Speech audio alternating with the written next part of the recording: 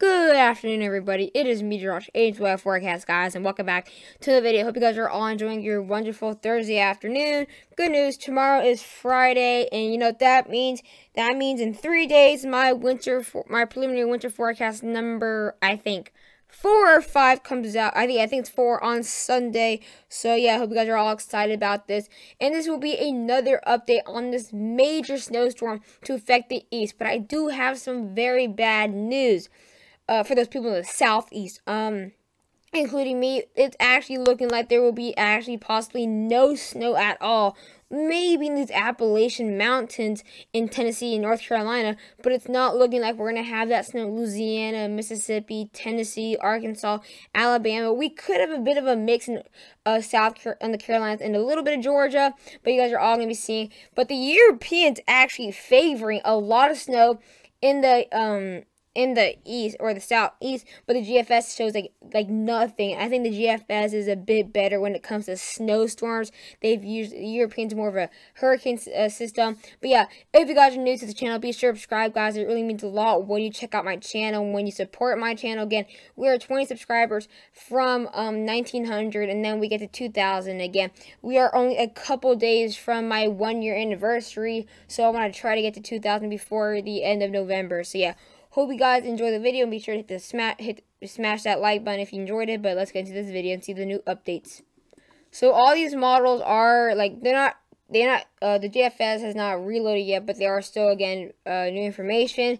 But we're gonna be looking at the National Weather Service uh, just to look at it again, just so you guys are informed what we're looking at all that. So again, this system does not look like it happens till the beginning of next week. And again, it's not just the east. We could have a bit of a snow maybe in the Dakotas, but the big threat is all the way from the east, possibly from maybe Appalachians and Tennessee, a little bit of northern, northern, northern Georgia and South Carolina, all the way to Maine. But the big, the biggest threat will obviously be right here.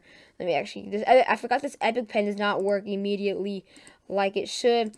Again, the biggest threat's probably right here, and then the somewhat we can have we can actually have a lot of cancellations though in the southeast though because of this freezing rain. I'm gonna have a low of 24 degrees when it rains. And again, if I I may actually see a mix too, or I'll be looking at, but we could have major cancellations in the southeast though with the ice, the black ice. Definitely, what we this can be a repeat of 2014. But again, guys, I think the biggest threat for the northeast, I I would maybe mention, or I would probably the main topic would be the southeast if it was like yesterday, but again, it's looking like a lot less snow and might the mix might not even happen. This is very far, so I don't want to focus on the southeast the whole video. I want to focus on just in general the whole east, but we could have major black ice threat for the southeast. I might have another video like this talking about the black ice later in the weekend, maybe Saturday, even Monday. So don't worry if I not talk about the black ice so much here.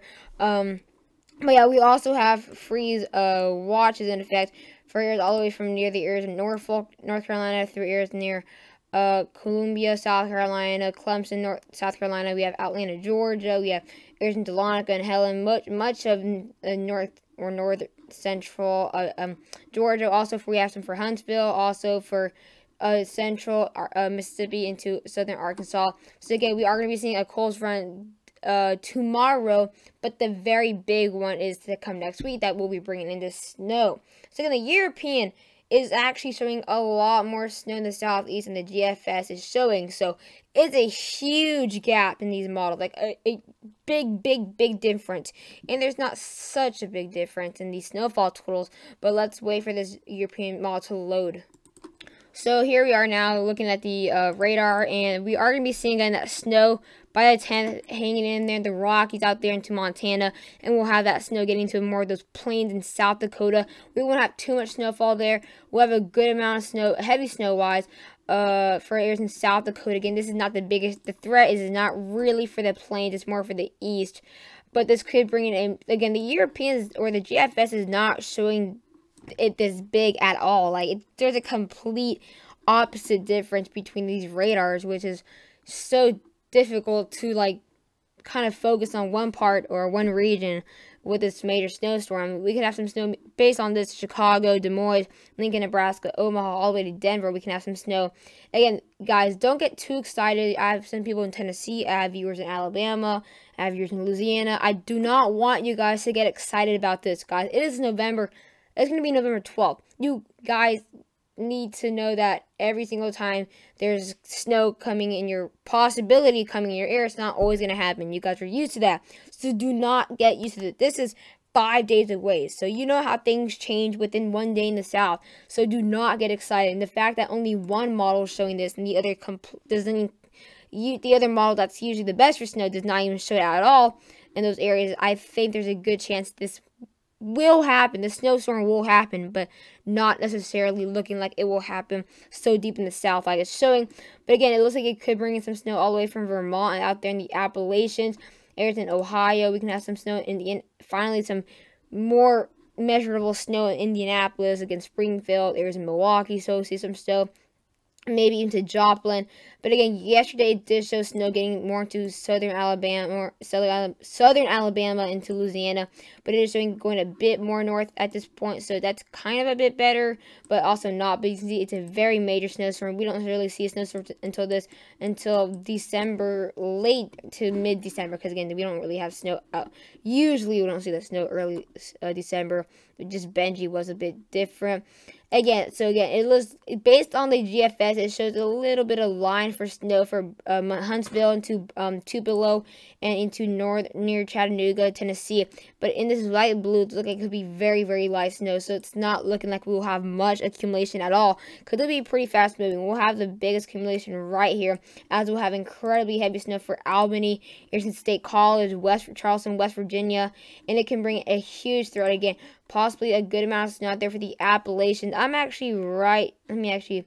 I'm actually not too far from the blue. I'm right here near the Lake Lanier. I'm like right here. I'm like right there near Lake Lanier. So I'm gonna be more of a rain mix somewhat for, for the, with, with the GF with the European showing but again, we're to have incredibly heavy snow. We can maybe have blizzard conditions possible for areas in Albany, Burlington, Vermont, areas into Philadelphia. We see the light snow now. Philadelphia won't have too much snow to come.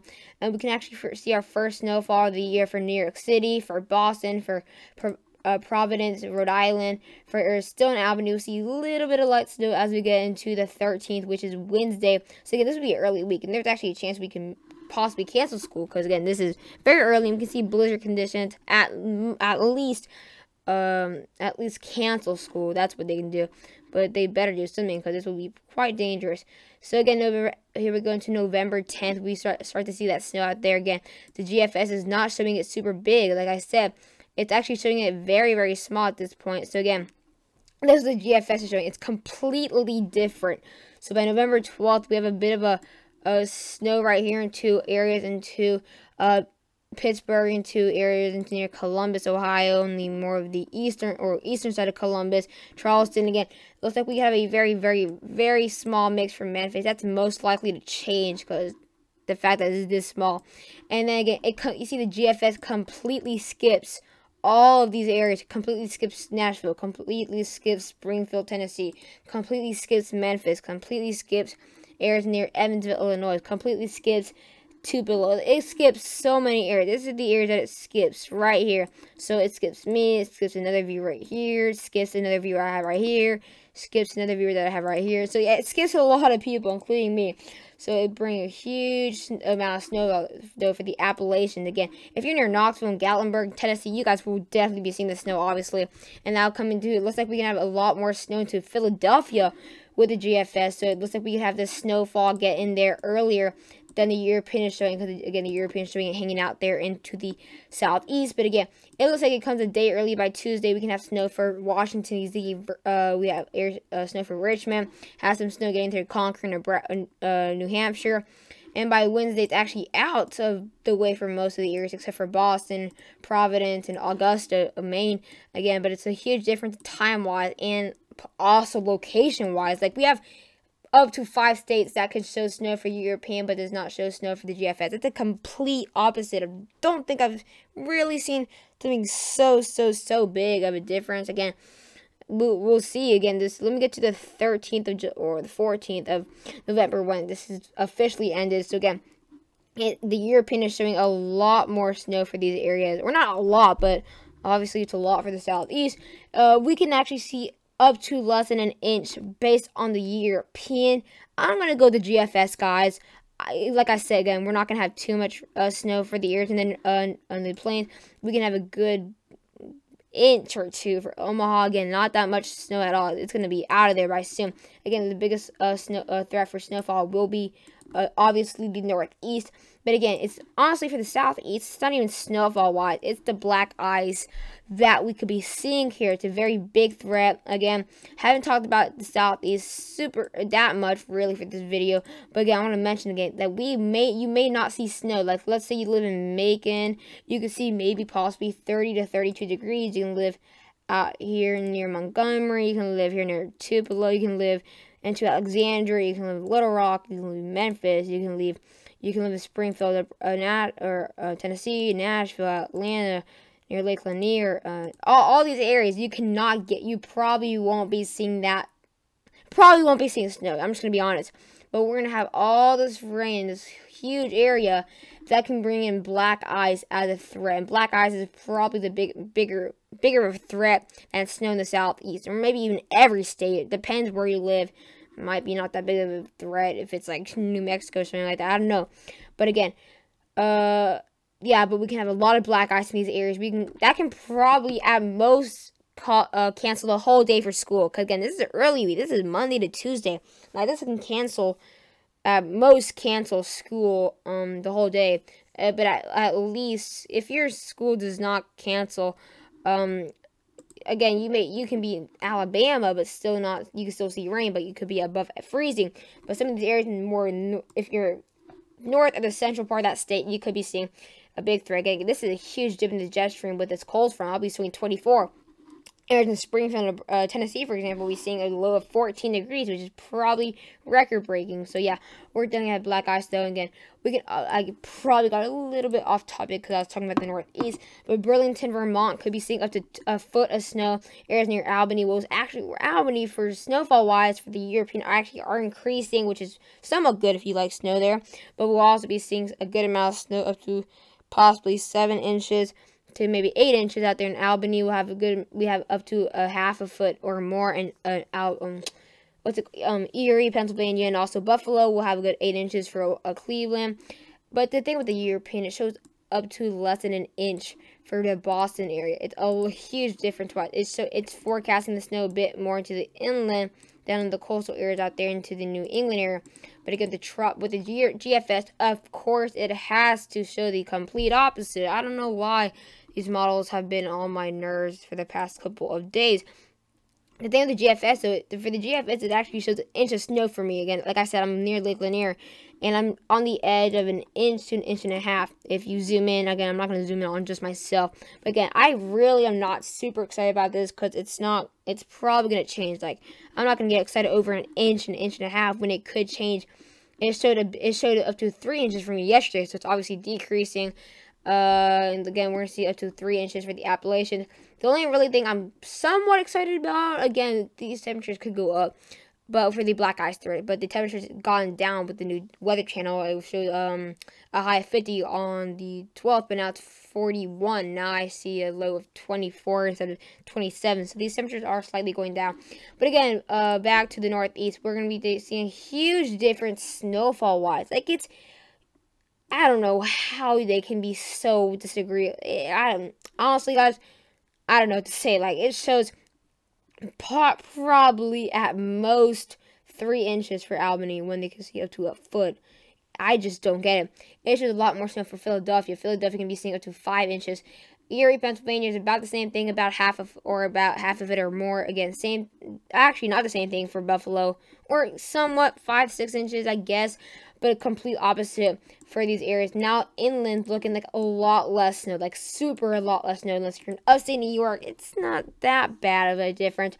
And obviously, if you're in northern Vermont, near Burlington, and near Concord, Nebraska, or Concord, um, I always want to say Nebraska, New Hampshire, you usually see a big difference as you're seeing up to half a foot other in less than a, less than an inch, and then Boston could be seeing up to half a foot too.